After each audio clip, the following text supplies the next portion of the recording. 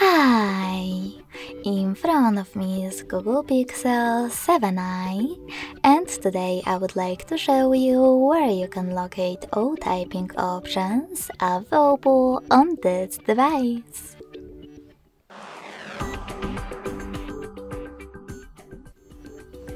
Begin by opening Devices Settings. In them, scroll all the way down and tap on System.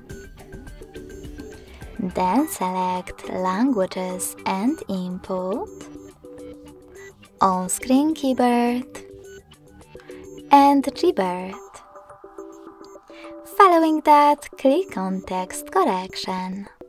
As you can see, all typing features are over here.